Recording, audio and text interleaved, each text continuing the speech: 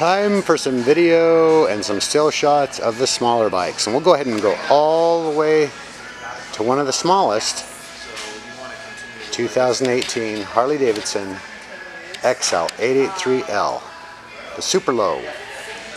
This particular specimen in color Bonneville Salt Pearl, which translated just really means a really beautiful iridescent off-white. Great looking bike.